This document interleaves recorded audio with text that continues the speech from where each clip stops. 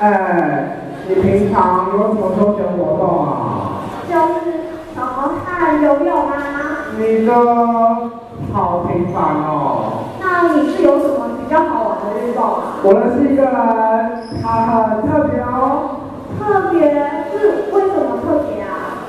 他只要一放学就会去练习属于他自己的特技。特技？你是说骑独轮车那种吗？